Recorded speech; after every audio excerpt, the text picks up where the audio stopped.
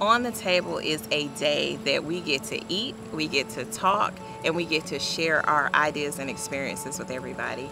It's a day to listen. It's a day to to communicate and to have those conversations that you you don't have to put on a suit. You don't have to um, get all dressed up for something fancy. You can go to your friend's house and you can sit down and you can have a conversation about what's going on with you and and what you want to see different in our community.